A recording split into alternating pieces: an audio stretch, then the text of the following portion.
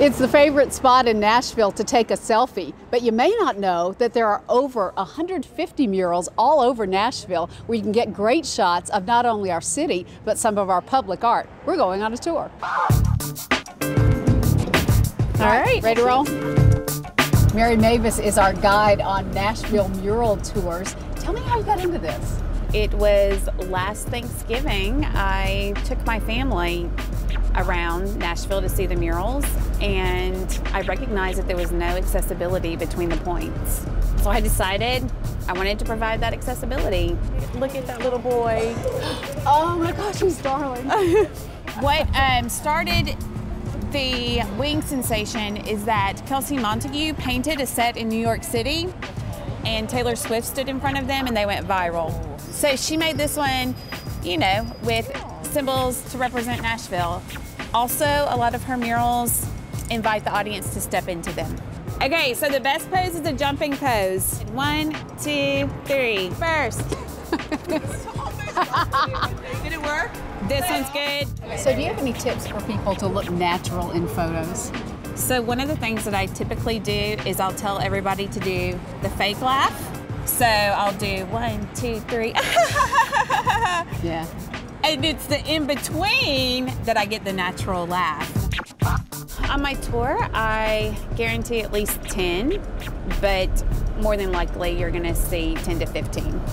The thing that's so exciting about this one for me is it was painted by Kelsey Montague, who also painted the angel wings. So Kelsey Montague's whole campaign is What Lifts You. So a lot of her murals have to do with flight, hot air balloon, helium balloons. this is the little octopus. They hired Chris Zidek to paint this mural. He studied sacred geometry, which means he studied the symbolism that goes along with different shapes and geometric proportions. And they had a local artist named Troy Duff paint the stairs, and they're cute too. All right, guy, you ready? Go. I got it. Aren't they cute? Oh, that is cute. What is it that street art and, and murals brings to our community? I call it Good Vibe because there's literally a mural downtown called Good right. Vibes by Nathan Brown. These artists are just capturing the vibe of the city. So here we are at the iconic I Believe in Nashville. Painted by a local artist by the name of Adrien Saporiti. He sold this design at the local Tomato Arts Festival did so well that he was able to devote himself to this brand and um, got to quit his job and now he's an artist. It's a great success story. Yeah.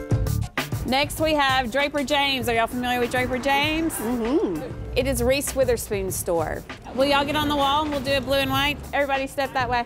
One, two, three. So this one was created by an artist named Bill Kaywood, and he started the Nash.tn brand first.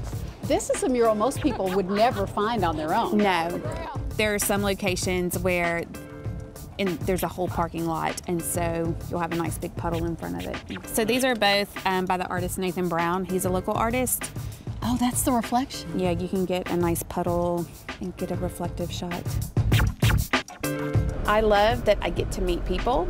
I'm getting to tell people about the artist, about what's going on in Nashville, about the mural movement that's happening here, and yeah, just get to show off a good city.